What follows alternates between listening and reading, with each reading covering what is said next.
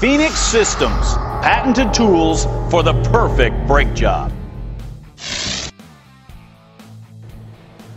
You've noticed that you still have air in your cylinder after you've primed the tool. The best way to get rid of it, put the tool straight up and down, give it a few squeezes,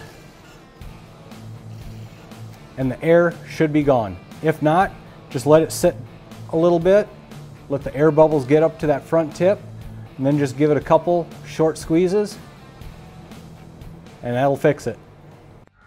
Phoenix Systems, patented tools for the perfect brake job.